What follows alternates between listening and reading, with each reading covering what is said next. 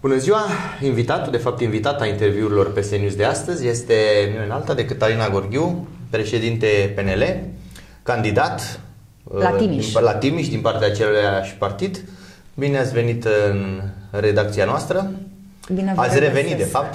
Da, da, bine vă regăsesc, e familiar peretele ăsta. Eu nu știu de ce nu stă peretele dumneavoastră. Uh, Numai domnul o să, Ponta și... O să discutăm cu colegii noștri și cu siguranță veți apărea. Domnul Băsescu și domnul Ponta, că doar n-aveți partid uh, privat. Dar așa. trebuie să vă mărturisesc că domnul Ponta era în vreo trei imagini, iar în acest format nou în care am redecorat a rămas numai într-unul singur. Da, în mijlocul, da. atenție. Când o să iasă din PSD, probabil că îl scoate și noi cu totul de pe, okay. de pe decorul nostru.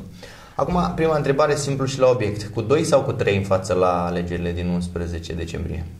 Cu cât e necesar ca să intri într-un guvern liberal condus de Dacian Cioloș, Acum, dacă e să intrăm într-o bucătărie a cifrelor, evident că rezultatul va fi unul mai bun ca la alegerile locale. Însă procente nu o să dau, n-am dat și nici nu cred că sunt relevante în momentul acesta. Repet, important este să poți să-ți pui în aplicare programul de guvernare cu o echipă sănătoasă, cu o echipă bună și uh, să ai un prim-ministru care să înțeleagă că societatea românească este în altă direcție decât aia pe care și-o dorește Dragnea. Da, sună frumos, sună optimist, dar pe de altă parte, sigur, fără să discutăm de procente, de cifre, nu putem încropi o majoritate. Adică așa măcar schematic, cu pixul pe hârtie, cum ar arăta ea? PSD se, se va duce spre 4, 40% sau pe acolo. Uh, ceilalți în dreapta trebuie să, unul vine cu 20, unul cu 10, unul cu 15, cu ce vin, ca să vine cu o contrapondere, nu? Haideți să ne uităm pe cifrele de la locale. Da. Cifrele de la locale arată o diferență mică între noi și PSD. De altfel, dacă scoateți Bucureștiul din ecuația localelor, o să constatați că scorul este același. Ca atare, nu putem vorbi de o diferență, cea pe care o vehiculează, bineînțeles, apropiații, sociologii apropiați de PSD, o vehiculau și înainte de locale și nu are niciun fel de legătură cu realitatea. Deci nu mă tem de cifrele pe care le văd în piață. Mă tem uh, de lucruri pe care, din păcate, societatea românească nu se le mai poate suporta. Ăsta e singurul meu uh, regret că sunt lucruri pe care, dacă nu o să le înțelegem de acum, nu o să le mai putem controla. Pentru că cea mai mare frică pe care o aud vin din Timiș acum, dar am fost cam prin toată țara de vreo trei ori și o să merg iarăși la lansarea de candidați în toate județele României. Principala teamă, frică pe care românii o au astăzi, sau cei cu care vorbesc eu, că nu o fi a tuturor românilor din țara asta, este aceea că un PSD poate guverna din nou. Este o frică care se bazează și pe o istorie îndepărtată, dar nu vreau să fac trimitere la Iliescu, dar pe o istorie recentă. Vorbim de un guvern care trei ani de zile n-a făcut decât să impună taxe și impozite. Și vă dau câteva exemple pentru că este magistral felul în care își gestionează PR-ul Dragnea. Taxa pe stâlp, impozitul pe PFA, CSS-ul pe uh, clădiri, um, timbru de mediu. Sunt toate taxe sunt introduse, de introduse PSD. exact. Sunt Corect. toate taxe introduse de guvernul PSD. Astăzi ce face PSD-ul? Scoate printr-un proiect de lege taxele pe care le-a introdus la guvernare. Nu pentru că n-ar crede că cineva nu se poate uita pe documente să vadă cine a introdus acele taxe, ci pentru faptul că Uh, mizează pe ideea că românul nu stă să se informeze în amănunt cine, ce, cum Vă și, și când. v-aș spune, dacă aș fi în locul lui, uh, poate că erau momente istorice diferite. Și Boc a tăiat uh, salariile într-o perioadă, după care am trecut acel moment și De acord. vorbim de măsuri pozitive. Numai că Boc a plătit cu vârf și îndesat și guvernul PDL a plătit la vot cu vârf și îndesat pentru acele măsuri de austeritate pe care și eu, vă aduceți bine aminte, le-am criticat atunci. Guvernul PSD n-a plătit o secundă pentru toate taxele și uh, impozitele introduse și să spunem că nu e nevoie să plătească cineva. Doar că aș vrea să văd că atunci când intrăm într-o campanie electorală, discutăm fără să mai mințim și fără să folosim patriotismul ăsta ipocrit și fără să spunem cum noi renunțăm la taxe și impozite de dragul românilor. Nu, renunțăm la niște taxe și impozite pe care le-am introdus ca atunci când am venit la guvernare să le reintroducem din nou, că altfel bugetul nu suportă. Vreau să vă mai spun iarăși despre un lucru pe care românii îl văd și mi l-au spus.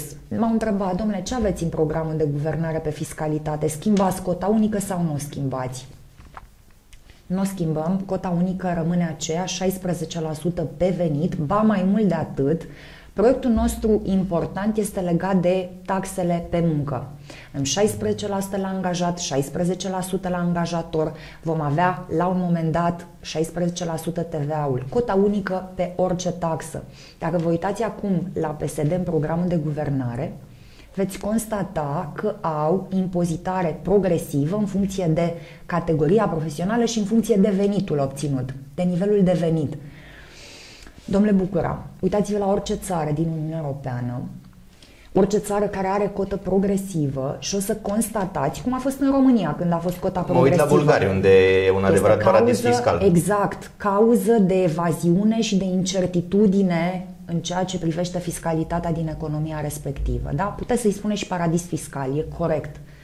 Și atunci mă întreb, de ce să nu pot să le spun oamenilor foarte clar ce sunt eu și ce fac eu ca Partid Național Liberal, chiar dacă n-am atâtea platforme de comunicare ca PSD-ul și ce face PSD-ul? Dacă românii vor trage linie și vor ajunge la concluzia că vor într-adevăr o colectare mai bună la buget, că vor taxe și impozite mai mici, că vor transparență și vor onestitate, că vor niște oameni mult mai noi în politică decât are lista PSD-ului, și că vor niște oameni care nu neapărat cumpără voturi acum prin proiecte, ci le spun direct atâta pot să fac, atâta poate să ducă bugetul, asta e proiecția mea pe următorii patru ani de zile, atunci cred că nu putem evita o guvernare. Și am să vă vorbesc de majoritate fix în 30 de secunde. Eu îmi doresc să văd USR-ul în Parlament. E un lucru neuzual spus din gura unui lider de partid să uh, cred că nu e uzual să auzi un lider de partid mare din România, un partid care la orice alegere obține peste 30%, că spune despre un alt partid competitor care ia din voturi că ar trebui să intre în Parlament. Însă, este în mod cert în societatea românească o mare nevoie de nou în politică.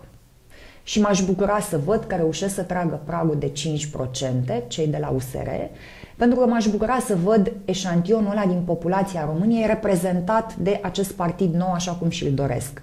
E una din variantele de formulă care să susțină fără a avea niciun fel de alianță cu dâns și niciun fel e previzibil, de... am înțeles. E clar, dacă ambele partide vor fi în Parlament, vă veți alinia sub o formă sau alta în spatele viitorului premier da. Cioloș. Da. Dar e posibil ca PNL plus USR să nu fie suficient. Și atunci, întrebarea mea tot în 30 de secunde e simplă. Trebuie să vorbim totuși de o uniune sau de o unire a dreptei, alternativa la stânga pesedistă. PSD-ul, Constituția spune un lucru foarte clar. Nu vorbește de alianțe în vederea Corect. unei majorități, vorbește de un procent de 50% plus 1 pentru partidul yeah. uh, XYZ. Niciunul din partide, ca să fim foarte tranșanți și corecți, nu va, nici pe departe. Deci niciun partid, în opinia mea, nu va trece de pragul de 40%. Și atunci posibilitățile de uh, alianță pot să le discuți, de alianță, de susținerea unui eventual prim-ministru, poți să le discuți exclusiv după ce vezi cine ți intră în Parlament. Pentru că eu vă mărturisesc că eu nu cred că în momentul ăsta PNP-ul intră în Parlament. Cum nu cred că ALDE va intra în Parlament. Sunt două partide cu convulsii foarte mari în interior acum, uh, generate de fuziunea nereușită. Știți, de 2 ani de zile se vorbește de cât de nereușită e fuziunea PNL, fostul PDL. Um, și cu toate astea am avut un procent foarte bun la locale, se putea mult mai bun pe București scorul, uh, însă celelalte două formațiuni despre care, pe care dumneavoastră le poziționați pe dreapta, în opinia mea nu vor trece pragul. Și atunci va trebui să vedem exact ce poziție va avea UDMR în Parlament, care va fi opțiunea minorităților, cu ce proiect vom veni în fața electoratului. E, ă, sunt discuții pe care, din păcate, nu le putem tranșa acum. Ce putem tranșa și ce ține de partidele politice responsabile este lista, programul de guvernare și candidatul de premier. De altfel, suntem, cred că, singurul partid politic dacă nu facem mișto de Ați PRU, anticipat un pic care... întrebarea mea legată de celelalte partide de dreapta. Deci să înțeleg clar, intuiția noastră este că cel puțin PMP-ul lui Traian Băsescu nu va intra în Parlament. Și nici ALDE, da. Și nici ALDE lui, al lui Tăricianu. Constantin uh, Tăricianu. Bun, atunci nu vă mai, atunci nu vă mai întreb să comentați ieșirile lui Traian Băsescu destul de vehemente la adresa noastră personal și la adresa partidului pentru că nu luați în calcul ca la un anumit moment după 11 decembrie, în contextul în care ei ar fi acolo, să faceți totuși o alianță cu ei. de-aia le nervez pe domnul Băsescu. Îl, îl deranjează foarte tare că, fără să clipesc, spun că o alianță cu partidul lui Traian Băsescu e exclusă. Și spun asta uh, cu toată răspunderea, indiferent de epitetele pe care domnul Băsescu mi le atașează, că acum câțiva ani era Manapau, că acum sunt un copiluț politic da. și tot așa, balează de la cald la rece și invers. Uh, domnia sa are o problemă majoră de credibilitate și PMP-ul poate ar fi avut altă soartă și ar fi avut posibilitatea să intre în Parlament dacă și-ar fi ales un lider neuzat politic. E o zură mult prea mare asupra domniei sale. Uh, este un lider care nu mai are nimic de spus în plus pe scena politică, va din păcate trebuie să dea tot felul de explicații despre cum a construit instituțiile pe care astăzi le critică. Și e bizar totuși ca un om care uh, a construit după chipul și asemănarea sa, așa cum spunea la un moment dat statul român și l-a reformat, vezi, Doamne, acum dă cu uh, cărămida în fiecare zi în aceste instituții. Dânsul spune că în persoane, nu în instituții, dar în mod cer decredibilizează niște instituții despre care cred că ar trebui să fim cu toții mai responsabili atunci când vorbim. Deci, cu domnul Băsescu, nu ca să fie Nici cu domnul Tăricianu nu prea lăsați impresia că aveți loc de bună ziua, să zicem așa. Um, nu vă... Cu domnul Tăricianu este o discuție care, din păcate, ține de frustrările acumulate de domnia sa uh, de-a lungul vremii după plecarea din Partidul Național Liberal. Um, nu, nu prea mai e um, deloc apreciat. Ați văzut declarațiile de la domnul președinte Chintu până la ultimul membru al Partidului Național Liberal, pentru că domnia sa s-a a intrat într-un ridicol absolut de când tot lustruiește pantoful domnului Dragnea pentru funcția de președinte al Senatului. Nu poți să ai uh, prestanța pe care odată o a avut-o Călim Popescu Tăricianu ca lider al Partidului Național Liberal cerșind funcții de la PSD și mizând și înlăturând orice om de bună calitate din jurul tău uh, pentru că vrei să-ți conservi uh, poziția și funcția de conducere. Uh, sunt mulți colegi de la ALDE care știți foarte bine că ne-au căutat. Sunt foarte mulți care au ales să revină în Partidul Național Liberal, mai ales generația tânără și netarată de uh, uh, metehnele domnului Tăricianu. Sunt mulți care au ales să vină înapoi în, în Tineretul Național Liberal. Acum am văzut declarații de la membrii candidați uh, ai ALDE pe poziții de prim rang, care spuneau că într-un viitor Parlament doresc o discuție cu PNL-ul, nu cu PSD-ul și l-ați auzit pe domnul Borza făcând această declarație. Da. Um, sunt convinsă că cei din ALDE, dacă vor intra în Parlament, deși nu cred, nu domnul Tăricianu, și fac această distinție. Ar putea migra, s-ar putea se rupe vor gândi, așa și vor, se vor gândi se vor foarte apăsat dacă ei pot să facă o alianță cu domnul Dragnea și PSD-ul sau uh, vor face opțiune către dreapta autentică. Dar o discuție care, repet, se va face la un moment dat, ulterior datei de 11 decembrie. Orghiu, haideți să ne mutăm un pic pe povestea cu listele, că am pornit un pic de la coadă la cap, vorbim de guvernare, dar noi avem, să zicem, momentul operativ al alegerilor. Întrebarea mea e iarăși simplă. E vreo șmecherie, cum ar zice românii, cu chestiunea asta cu somitățile din domeniul medical? Aveți un uh, neurochirurg uh, pus cap de listă, o personalitate. Mai aveți pe doctorul Sârbu, generalul Sârbu, care iarăși merge și el la o, în Argeș, dacă nu mă înșel. E vreun studiu sau e pur și simplu un experiment al PNL-ului? Da, nu, nu este un experiment. O avem avem uh, un, uh, doc, un fost director de SMUR din Brăila, care este o doamnă doctor, care este locul deci întâi la, la Brăila. Sunt vreo, uh, dacă nu mă înșel, vreo 15 uh, medici foarte buni care cunosc sistemul din interior. Da, după cazul colectiv, Deci suntem la un an după o dramă națională la care încă nu avem răspunsuri, dar știm cauzele. Ineficiența, ineficiența unui sistem administrativ în România, o birocrație absolut înfiorătoare și hibele unui sistem de sănătate care, din păcate, sunt uh, perpetuate de niște oameni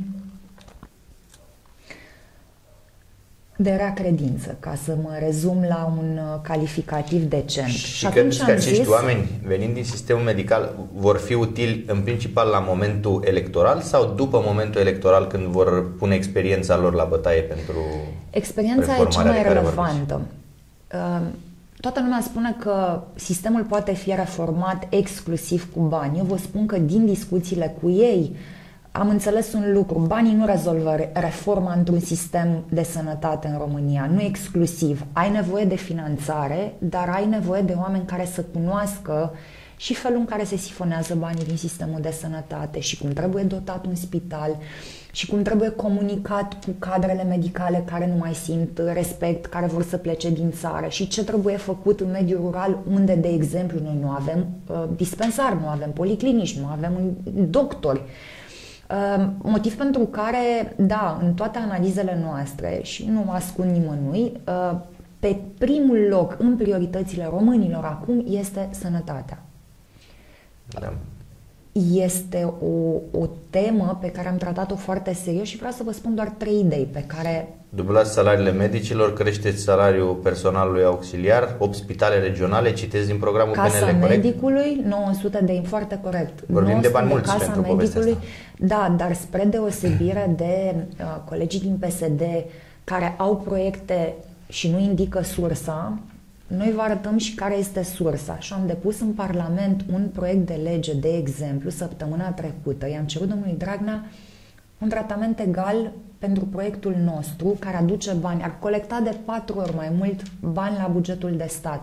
Vorbim de o transpunere a unei directive care spune în felul următor.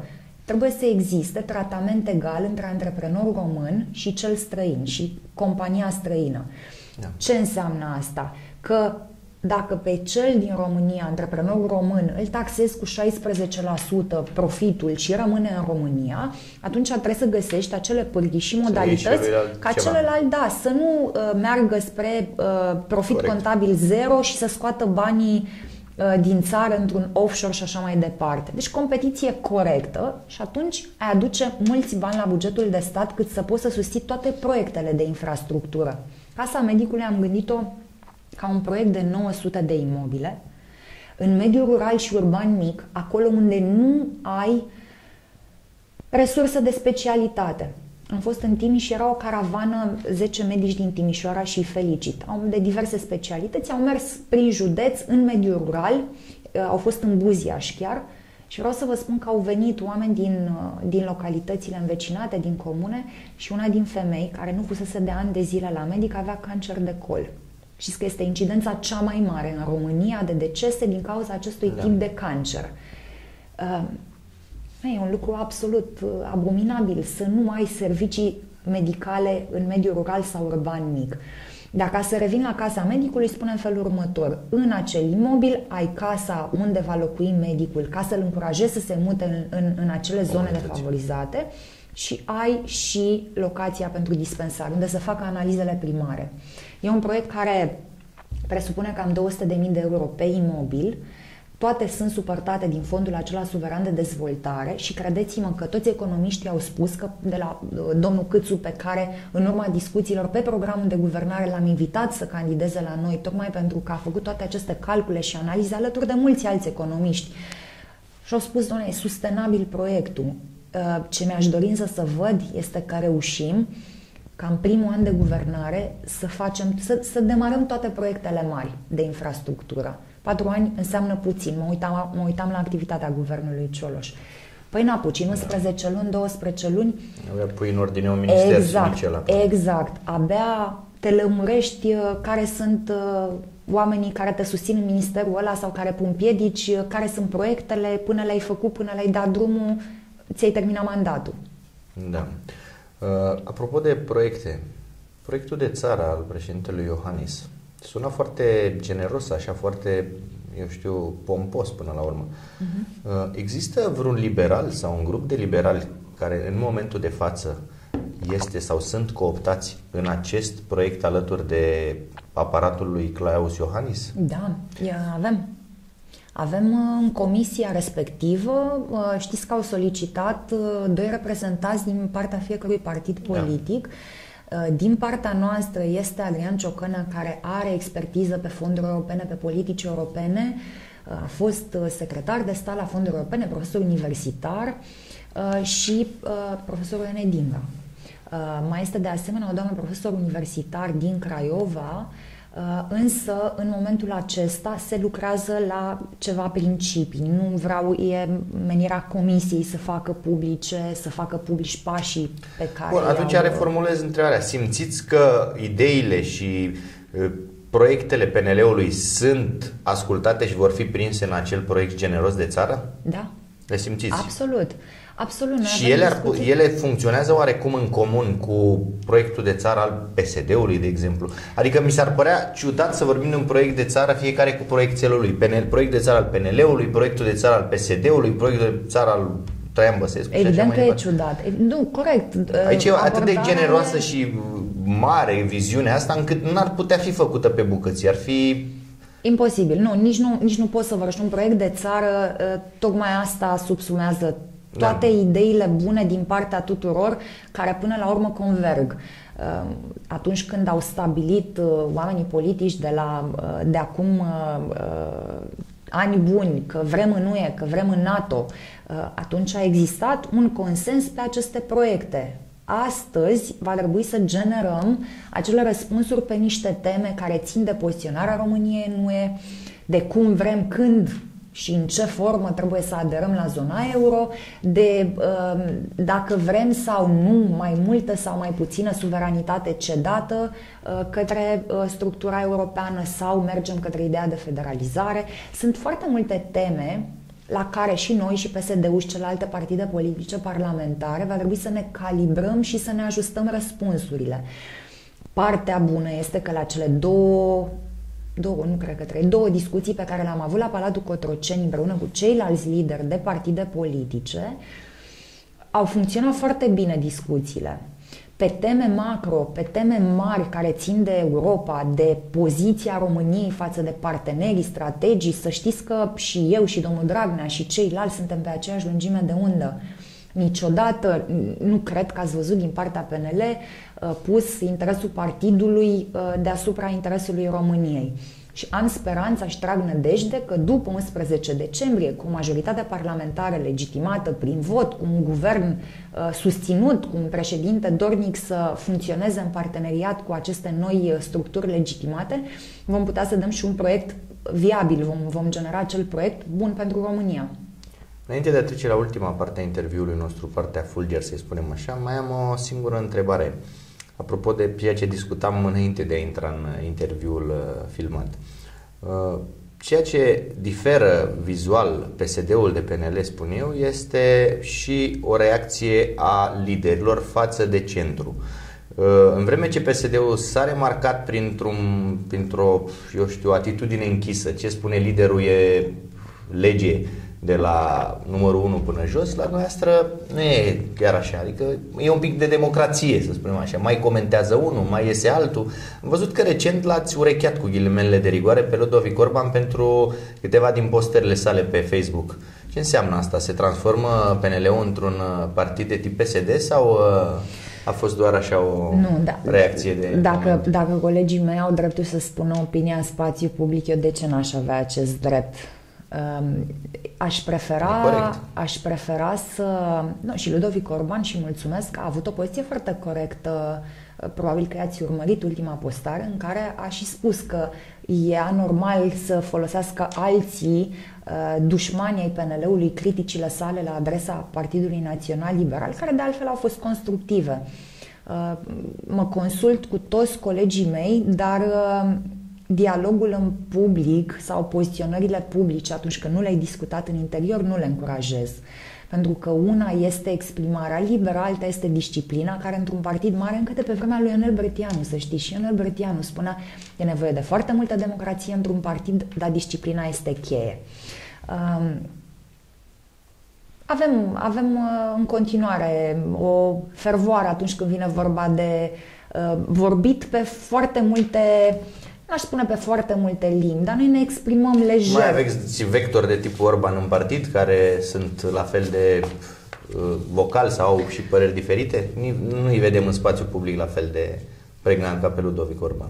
Vin la partid, vă mai spun acolo ce îi nemulțumește? Avem oameni care au foarte multe opinii cu care pot fi de acord într-o anumită măsură, cu altele nu sunt de acord și ei la fel, am eu păreri care sunt sau nu sunt de acord. Da, suntem mulți și eu, să știți, când erau când era Crin Antonescu, când erau alții președinții ai partidului, aveam și eu poziții care nu de multe ori, de, care nu de puține ori, ca să spun corect, nu se suprapuneau integral peste uh, opinia conducerii partidului. Dar nu e o dramă, din asta se naște progresul, ne mergem mai departe. Ehm, asta e, asta e farmecul Partidului Național Liberal și credeți-mă, nu l-aș schimba pentru nimic în lume.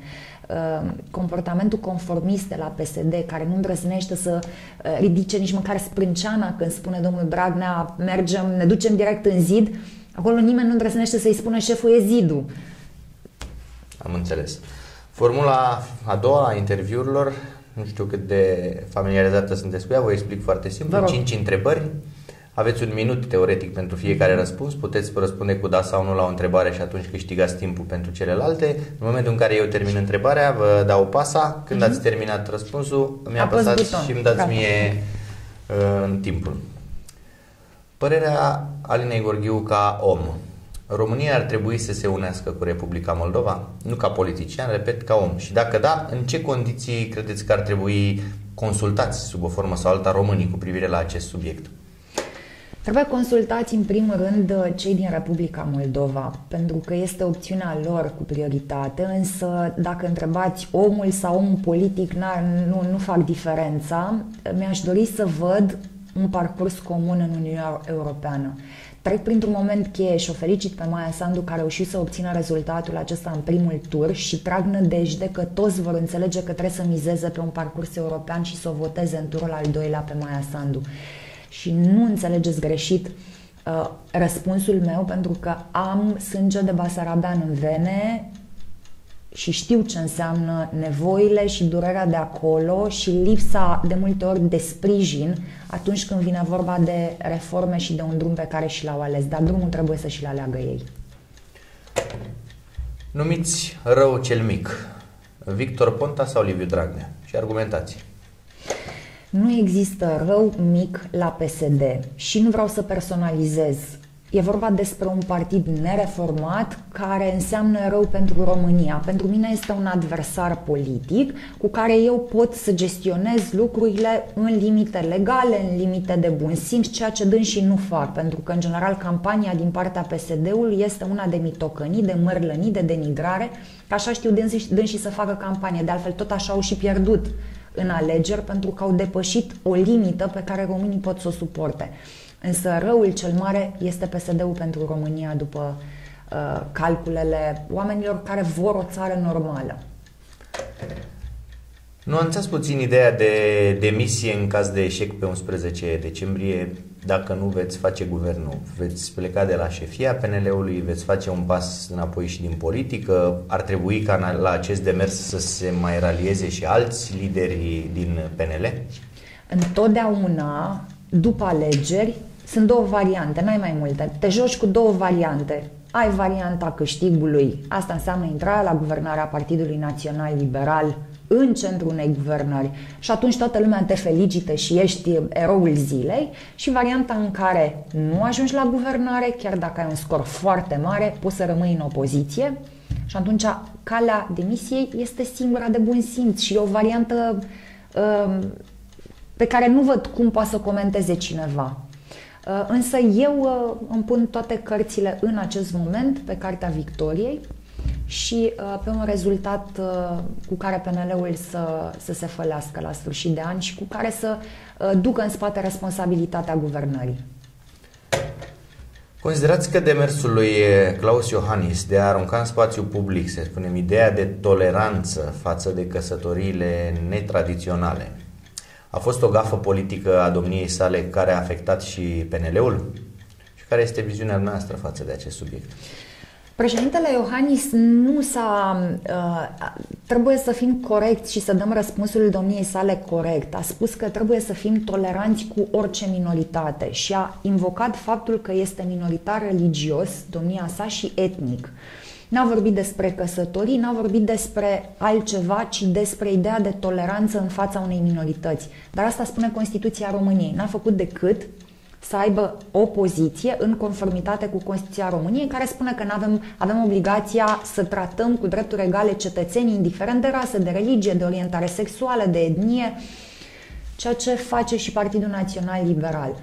Avem o legislație în acest moment care completează Constituția, Codul Civil, care spune că avem o căsătoria tradițională este văzută între un bărbat și o femeie, motiv pentru care susținem acest parteneriat, însă vă spun că e nevoie de forme de protecție juridică pentru toate minoritățile, indiferent despre ce minoritate vorbim, pentru că ăsta este un stat de drept.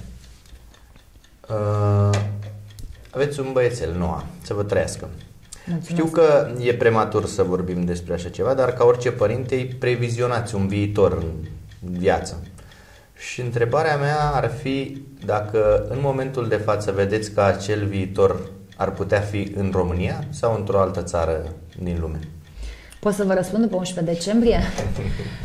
Uh, mi-aș dori, să răspundeți și atunci, mi-aș dar dori tare așa mult, mi-aș dori tare mult uh, să văd un, uh, un uh, Noe crescut în România, școlit în România, cu un job și cu o familie în România, însă este ușor de vreme și am să vă spun de ce, pentru că abia ieri am început diversificarea, uh, deci e prematur, însă categoric uh, depinde și de mine dacă copilul meu va rămâne sau nu în țară. Depinde și de partidul meu, de felul în care va gestiona frâiele uh, țării, pentru că un copil sau un adolescent sau un tânăr absolvent de facultate va rămâne sau va reveni în România doar dacă are uh, perspectiva viitorului, perspectiva carierei în România, perspectiva unui loc de muncă bine plătit, ceea ce nu prea se întâmplă în momentul acesta. De a uitați-vă Bine, cam am care... să vă opresc timpul și da. am să vă provoc să continuăm întrebarea foarte scurtă, în sensul că, mergând pe scenariu că rămâneți în țară,